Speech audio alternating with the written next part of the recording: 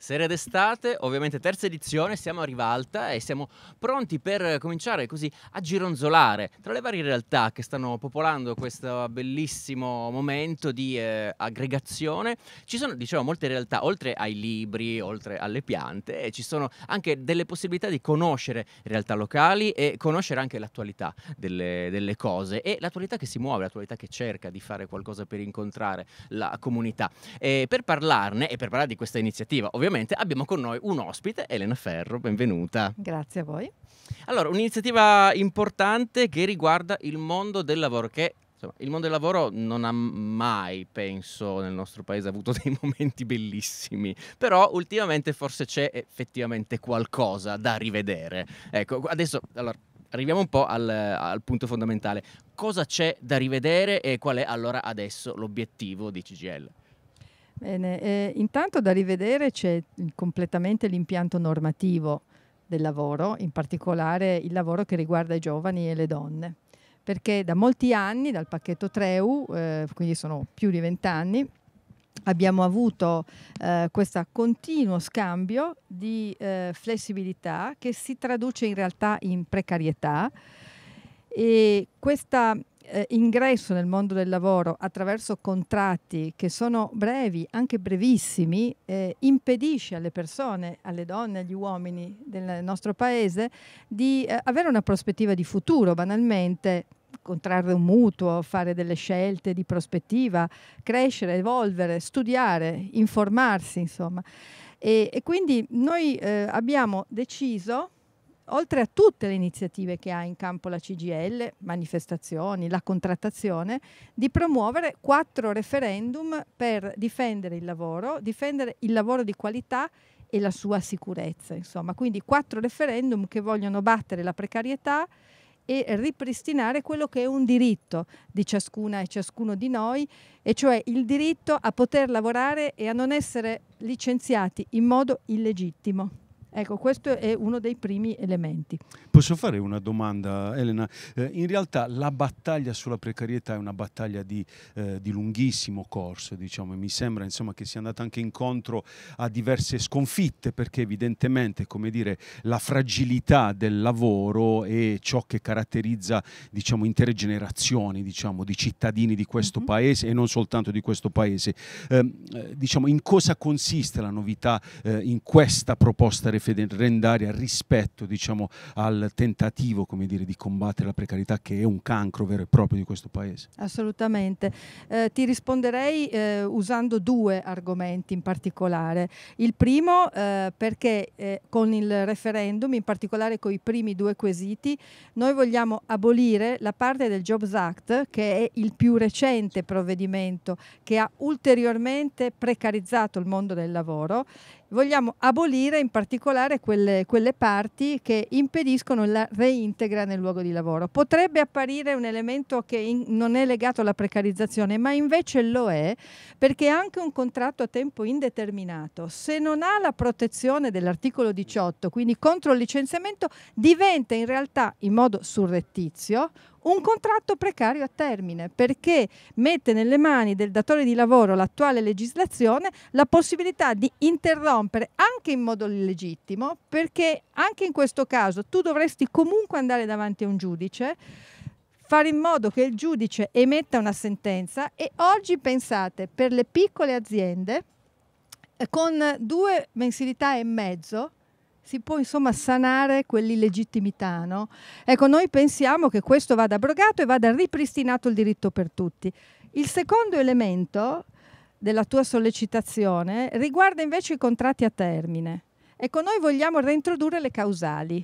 Eh, anche nel recente decreto eh, lavoro, no? quello che è stato emesso il primo maggio dell'anno scorso, una ferita per le organizzazioni sindacali, perché in realtà il decreto lavoro del governo Meloni è un decreto che ha ulteriormente peggiorato le condizioni di lavoro perché, pensate, eh, si può addirittura mettersi d'accordo a livello individuale la persona che cerca lavoro col proprio datore di lavoro in merito alla motivazione di un contratto a termine, come se ci fosse davvero un equilibrio di potere, no? mentre noi sappiamo, e il sindacato esiste per questo, per ripristinare una, certa, una simmetria di potere che altrimenti esiste. Quindi noi vogliamo reintrodurre le causali per impedire i contratti a termine anche di una giornata, che purtroppo sono i numeri che oggi vengono spacciati come incremento dell'occupazione. Tenete conto che mentre noi promuoviamo questi referendum, dall'uscita del Jobs Act, cioè dal 2016 ad oggi, abbiamo attraverso le cause smontato pezzo a pezzo questa norma perché di fronte a delle vertenze siamo riusciti a ripristinare quello che noi oggi stiamo chiedendo. Perché promuoviamo un referendum? Perché vogliamo che la norma venga cancellata e che quindi non sia più un necessario fare una causa, ma che questo si affermi come un diritto, quello alla conservazione del posto di lavoro per tutte e per tutti. Um, volevo chiederti anche un'altra cosa. Siamo dentro un contesto, quello di Serre d'Estate, che in questa terza edizione si occupa di questioni di genere declinate davvero, davvero a 360 gradi. Tu all'interno della Camera del Lavoro di Torino ti occupi anche di politiche di genere. Direi che questa è un'altra di quelle battaglie, diciamo, che eh, come dire, non vedono mai un orizzonte definito e per cui insomma è, è una di quelle eh, battaglie sulle quali insomma ogni giorno bisogna essere in trincea, no? Che tipo tipo di lavoro fate quotidianamente? Questa è una domanda impossibile che però non posso non fare a te, insomma, che ti occupi di questo Ma tutti i giorni. Anzi, io ti ringrazio. È un piacere essere qui eh, questa sera. Noi tra poco presenteremo lo Statuto delle lavoratrici, che è una prima chiave di lettura del mondo del lavoro delle donne, che in realtà è il mondo del lavoro forse peggiore, no? a, a, a proposito di precarietà, di dignità, di accessibilità e di asimmetrie di potere. La Camera del Lavoro di Torino, la CGL di Torino, ha in particolare nell'ultimo periodo ha promosso un'iniziativa che proprio mira a eh, contrastare quella che è la simmetria del potere all'interno delle organizzazioni, all'interno dei luoghi di lavoro.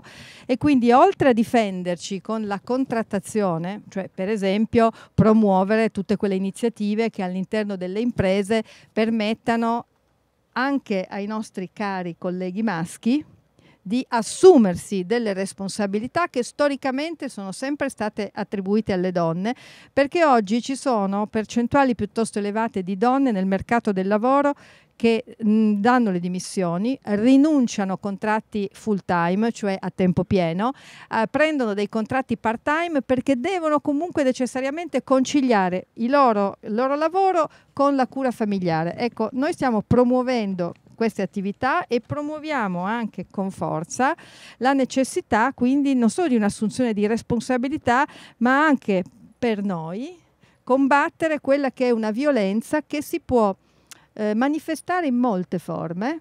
Una è quella che sentiamo ancora oggi purtroppo un altro femminicidio, sono veramente tanti, eh, così come la sicurezza sul lavoro, sono morti inspiegabili e inaccettabili per noi, ma c'è anche una violenza più sottile, una violenza psicologica, una violenza economica che viene perpetrata nei confronti delle donne. E quindi noi agiamo su questo per trasformare quello che è il mondo del lavoro anche nella nostra quotidianità.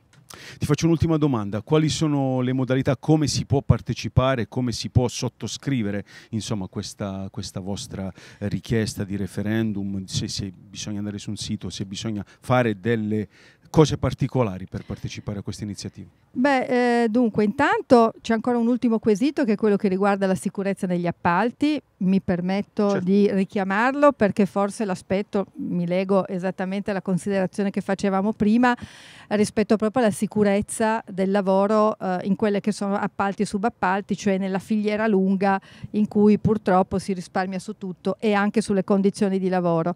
Come si fa? Allora, intanto noi siamo presenti da due mesi, lo saremo ancora fino al 6 luglio, in moltissimi mercati, nelle aziende, nei luoghi di lavoro. Stasera qui a Binaria siamo presenti per la raccolta firma cartacea, basta un documento e un minuto del vostro tempo e potete supportare questa iniziativa, ma potete farlo anche online sul sito della CGL nazionale digitando referendum. Chi ha uno SPID o una carta d'identità elettronica può sostenere anche online questa raccolta. Cosa succederà quando avremo raggiunto le firme, le abbiamo già raggiunte, ma noi vogliamo ottenere un risultato politico più importante, noi eh, andremo al voto il prossimo anno.